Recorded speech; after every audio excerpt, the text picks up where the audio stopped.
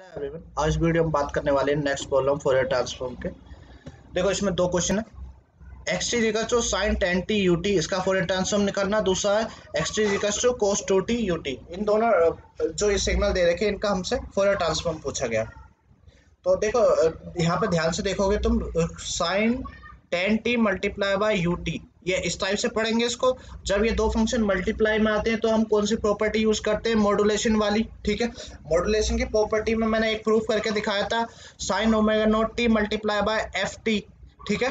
तो वहाँ पे जो प्रूफ मैंने करके बताया, उसी को मैं यूज़ करूँगा यहाँ पे। जो मॉडुलेशन प्रॉपर्टी थी, मैं उसको यहाँ पे बता दूँ पहले, क्या थी मॉडुलेशन प्रॉपर्टी मॉडुलेशन प्रॉपर्टी क्या कहती थी हमने? मैंने वहाँ पे फॉर्मूले निकाले थे, ठीक है? अगर कोई एफ़ टी था, उसमें sine omega nought T F T की मल्टीप्लाई करते हैं तो क्या होता है? जे अपॉन टू जो मैंने फाइनल फॉर्मूला निकाला था, ठीक है? Delta omega plus omega nought T minus delta omega minus omega nought T ठीक है? ये प्रूफ करके दिखाया था साइन के लिए। कोर्स के लिए मैंने होमवर्क दिया था, ठीक है? तो उसका होमवर्क को कर लिया होगा आपने। तो अब देखो, यहाँ पे मैं इसको यूज़ करूँगा सेकंड वाले के लिए। तो पहले वाले के लिए देखते हैं पहले। मॉडुलेशन की प्रॉपर्टी में। तो यहाँ पे एफ़ टी मेरा क्या, किस, किसका काम करेगा? यू टी का, ठीक है? जो एफ़ टी मेरा यू टी बन जाएगा। तो पहले मुझे वही निकालना, ठीक है? क्योंकि ये प्रॉपर्टी कैसे काम करती है? एफ़ टी का Fourier transform F of omega ठीक है? तब हम क्या करते हैं, अगर एफ़ टी में मैं साइन ओमेगा नोट टी की मल्टीप्लाई कर दूँ तो क्या आता है J by two delta omega plus omega nought T minus delta omega minus omega nought T तो हमारा एफ़ टी जो यहाँ पे क्या? यू टी ठीक है? क्योंकि इसमें साइन ओमेगा नोट की जब तो मैं मल्टीप्लाई करूँगा तो ये एफ़ टी मेरा कौन है? यू टी तो यू टी का हमें पता है फ्रोडियर ट्रांसफॉर्म क्या होता है, मैं पहला सोल्व कर रहा हूँ क्वेश्चन तो हमने क्या करा है यहाँ पे? लेट एफ़ टी बराबर यू टी ठीक है? तो हमें पता है यूटी का फोर ईयर ट्रांसफॉर्म तो हमें पता है पहले से ही यूटी का फोर ईयर ट्रांसफॉर्म जो होता है, वो कितना होता है? One upon J omega plus pi delta omega ठीक है? ये सबको पता है। अगर देखो, अब इस फ़ंक्शन में मैं साइन ओमेगा नोट की मल्टीप्लाई करता हूँ तो क्या चेंज आता है? जो भी एफ़ ओमेगा था, उसमें क्या आ जाएगा? Omega plus omega nought omega minus omega nought ठीक है? तो पहले क्या करना, उसी फ़ंक्शन में क्या करना? ओमेगा नोट को ऐड करना, ठीक है? फिर क्या करना? उसी को घटा देना। सॉरी ये डेल्टा नहीं है, ये एफ़ है। ये क्या एफ़ मैंने ये गलत लिख दिया यहाँ पे। मैं दो बार लिख देता हूँ। F omega plus omega nought minus F omega minus omega nought ठीक है? ये होता है। तो पहले एफ़ ओमेगा तो ये मेरा, ये ये है मेरा एफ़ टी इस टाइम पे, और ये क्या मेरा एक्स ऑफ़ ओमेगा है, ये क्या मेरा एफ़ ऑफ़ ओमेगा ठीक है? तो जब मैं साइन टी से इसमें मल्टीप्लाई करूँगा, तब क्या होगा मेरा? तो मैं साइन कितने से मल्टीप्लाई कर रहा हूँ? दस टी से तो यानी ओमेगा नोट की वैल्यू है दस। तो मेरा फोर ट्रांसफॉर्म क्या हो जाएगा? ओमेगा नोट की वैल्यू यहाँ पे कितनी? है दस। तो मुझे क्या करना जे बाई टू से मल्टीप्लाई ठीक है? ये मेरा एफ़ ऑफ़ ओमेगा ये क्या मेरा? F of omega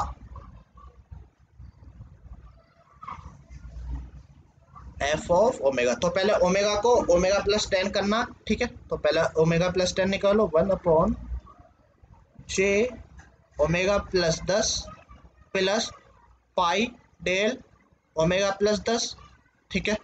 इतना निकाल दिए, फिर क्या करना? Minus f omega minus omega naught, यानी ओमेगा नोट की वैल्यू है दस। तो इसमें क्या करूँगा अब मैं? ओमेगा को ओमेगा माइनस दस से रिप्लेस कर दूँगा। यानी ओमेगा की जगह क्या लिख दूँगा? ओमेगा माइनस दस। ओमेगा माइनस दस plus pi del omega minus दस। ठीक है? तो यहाँ से हमें क्या मिल गया? Sine ten t u t का फोरियर ट्रांसफॉर्म क्या आ गया?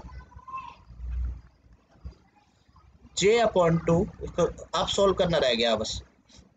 तो ये कितना आ जाएगा? One upon j omega plus दस plus pi delta omega plus दस माइनस हो जाएगा ये। Minus one upon j omega minus दस minus pi del omega minus दस। ठीक है? इसको ऊपर कर देते हैं। अब इसको बस सॉल्व कर लो। जितना ज़्यादा सिंप्लीफाई कर सकते हो।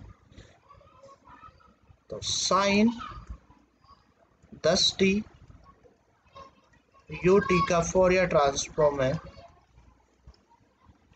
जे अपॉन टेन तो जो ये वन अपॉन वाले टर्म में इनमें से जे कॉमन ले लूँ।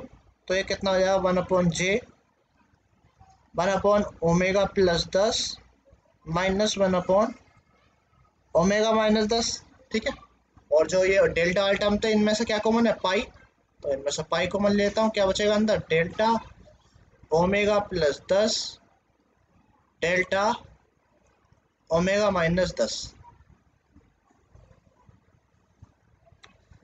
तो ये कितना हो जाएगा? साइन दस t u t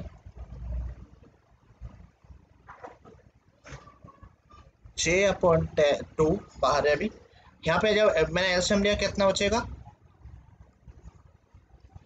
ये हो जाएगा ओमेगा प्लस दस, ओमेगा माइनस दस। तो ओमेगा माइनस दस इधर आया ये। और माइनस वन के ओमेगा प्लस दस से करेंगे तो माइनस ओमेगा, माइनस का दस आएगा।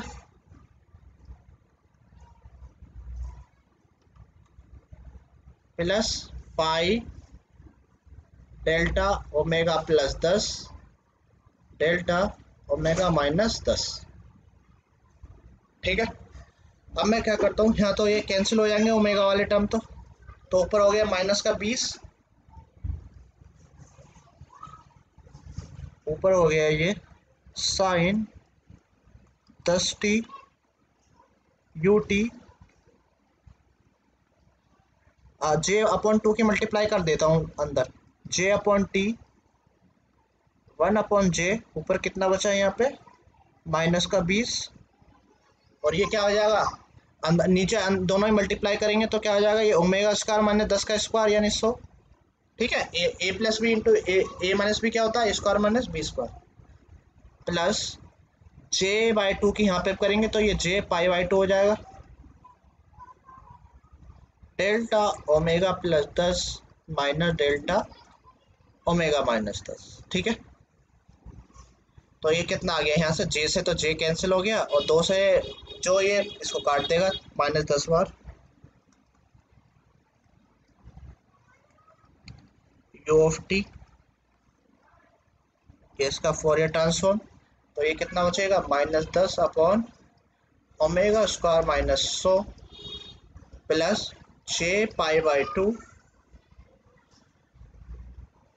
delta omega plus दस माइनस डेल्टा ओमेगा माइनस दस। ये क्या है इसका आंसर? है ठीक है? इससे ज़्यादा सोल्व नहीं कर सकते।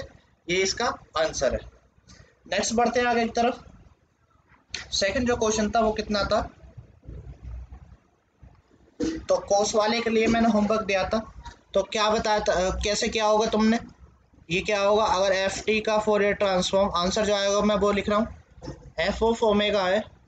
अगर मैं कोस से मल्टीप्लाई करता हूँ कोस ओमेगा नोट से sorry cos omega naught t से इसमें मल्टीप्लाई कर दूँ तो फोर ट्रांसफ़र पे क्या फ़र्क पड़ता है?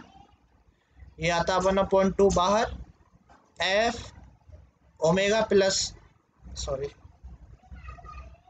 omega plus omega naught plus f omega minus omega naught ये आया होगा जब प्रूफ क्या होगा वहाँ पे, ठीक है? देखो इसका प्रॉपर्टी का कितना इस्तेमाल है यहाँ पे। यू टी का तो हम निकाल ही चुके हैं, ठीक है? तो एफ़ टी जो हमारा यू टी है यहाँ पे, फिर ओमेगा नोट से ओमेगा नोट यहाँ पे टू हो जाएगा, ठीक है? तो बस इसका प्रूफ कर, अब करते हैं यू टी का जो फोर ट्रांसफॉर्म है हमें पता ही कितना? यानी एफ़ ऑफ़ ओमेगा कितना हमारा? इसका one upon j omega plus pi delta omega ठीक है? ये होता है, जब मैं कोस से मल्टीप्लाई करूँगा तो क्या होगा मेरा? Cos omega cos omega naught यानी two t multiply by u t इसका फोर ईयर ट्रांसफॉर्म ठीक है? तो ओमेगा नोट की वैल्यू यहाँ पे कितनी है? दो। तो पहले f omega plus omega naught निकालूँगा, ठीक है? तो मैं इसमें क्या कर दूँगा? और ओमेगा प्लस दो रख दूँगा, ठीक है? तो पहले वन बाई टू तब आ रही है फॉर्मूले के हिसाब से। अब निकालो f omega plus omega naught यानी फ़ंक्शन में इस वाले में क्या कर दूँगा? मैं ओमेगा को ओमेगा प्लस दो रख दूँगा। ओमेगा प्लस दो हो जाएगा ये। पाई डेल्टा ओमेगा प्लस दो, ठीक है? इसके बाद क्या है? Plus f omega minus omega naught में। यानी इसी फ़ंक्शन में क्या कर दूँगा मैं? ओमेगा को ओमेगा माइनस दो रख दूँगा। One upon j omega minus दो। डेल्टा ओमेगा माइनस दो।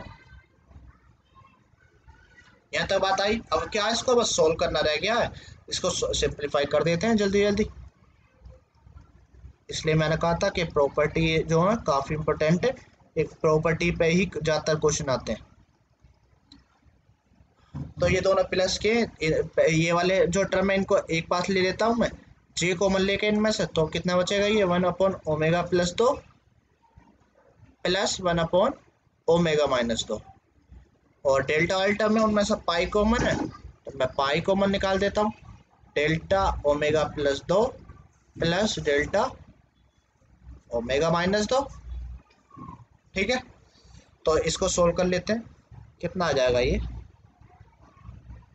Cos two t multiply by u of t का जो फोर या ट्रांसफॉर्म है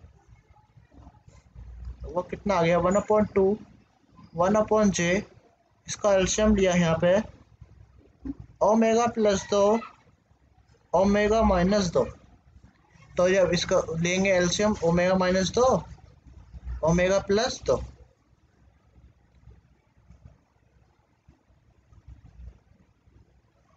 Plus pi, delta omega plus दो, डेल्टा ओमेगा माइनस दो। यहाँ पे देखो टू से तो ये टू कैंसिल हो गया तो ऊपर हो गया टू ओमेगा तो यहाँ पे ये cos two t u t का फोर ये ट्रांसफॉर्म ऊपर हो गया ये वन अपन जे हो जाएगा कितना? टू ओमेगा नीचे हो जाएगा ओमेगा स्क्वायर माइनस फोर, ठीक है? Again a plus b a minus b का फॉर्मूला था, square minus b square plus pi delta omega plus दो डेल्टा ओमेगा माइनस दो. ठीक है? टू के अंदर मल्टीप्लाई कर देता हूँ मैं।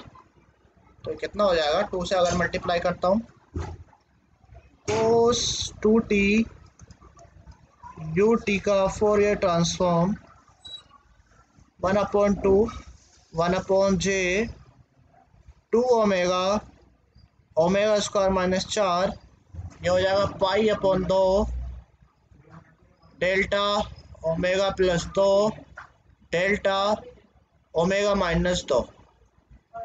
ठीक है? तो यहाँ दो से तो दो कैंसिल हो गया।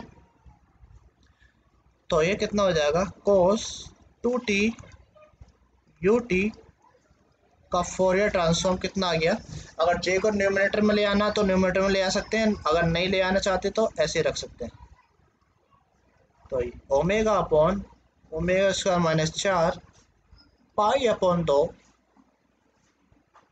ये हो गया डेल्टा ओमेगा प्लस दो डेल्टा ओमेगा माइनस दो। ठीक है?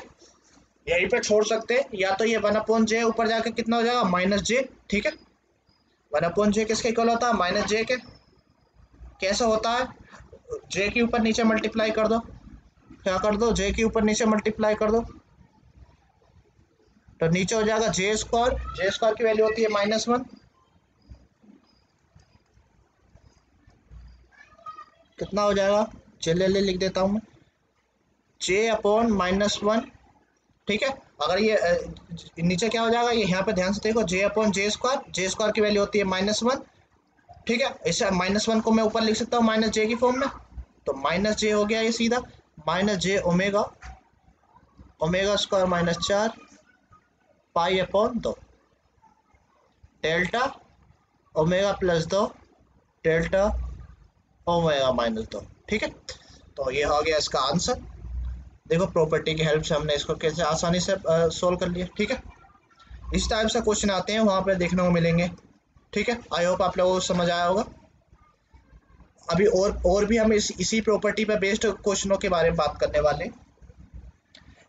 इसी तरह के क्वेश्चन मिलेंगे इसमें ज़्यादा कुछ घबराने वाली बात नहीं है। मैं बहुत आसान तरीके से कराने वाला हूँ ठीक है? अगर कोई दिक्कत है कहीं पे भी कमेंट करके पूछ लें। ठीक है, मैं बता दूँगा कहाँ पर मैं प्रॉब्लम बता दूँगा कैसे करना, ठीक है? आई होप आप लोगों को समझ आया होगा। फ़िलहाल इस वीडियो में इतना ही। ओके थैंक यू मिलते हैं नेक्स्ट वीडियो में नेक्स्ट प्रॉब्लम के साथ।